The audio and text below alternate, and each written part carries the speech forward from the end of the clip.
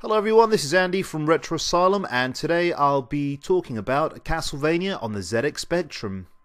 Now this is a fan-made game on the ZX Spectrum made by some Russian programmers.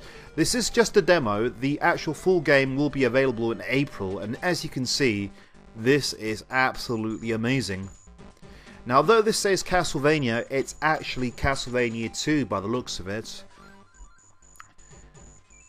Now, I don't understand Russian, but I believe what that says is download the Retro Asylum podcast every Friday from iTunes or on Podomatic.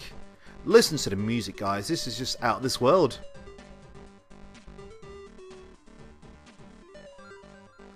I really love the music. It's probably some of the best music I've actually heard on the ZX Spectrum. So guys, I've been away from YouTube for a little bit. I've been working on the site, been working on the podcast. We're on tour now performing. Uh, the next tour, part of the tour, we'll be performing at Play Expo. Then we've got our own little meeting, which is at Play Nation Games. And then later on, we'll be performing at NERG in July. And then in August, we'll be performing at Revival. So back to this game though. Listen to that music. The music's not, you know, it's it's it's beautiful, actually. The only thing that is a little bit annoying is the scrolling. The scrolling is sort of like flip screen, so once you get to the end, it flips the screen to the end. But again, this isn't a full game. This is just a demo. But the demo really proves what the ZX Spectrum was capable of, you know? And these Russian guys, they love the ZX Spectrum. I can't wait to play the full version of this. I love all the characters. I've never really played Castlevania 2 um, on the NES, but I know this is uh, you know based on that. But well, this is amazing. 2014 has already been an amazing year for ZX Spectrum games. Uh, within the next month or so, I'll be doing videos of all the uh, latest games that's come out. Some truly amazing games being produced for the ZX Spectrum.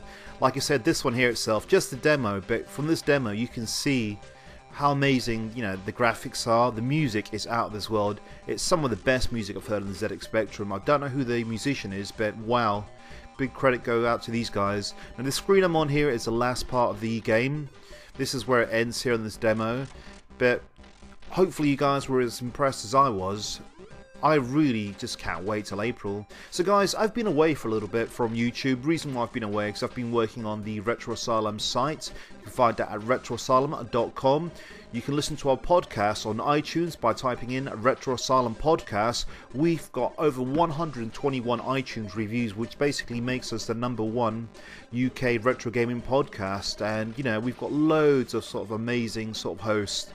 Want to give a big special thank to Swaney, Glenn, Matt Dinaris, Foggy, Uniforix, The Retro Hunter, um, Mr. Sid, Press Play on Tape, Paul Monahan, and if I have forgotten anyone, I do apologise. Oh, yeah. This is it. This is where the uh, thing runs out, guys. So, see you next time.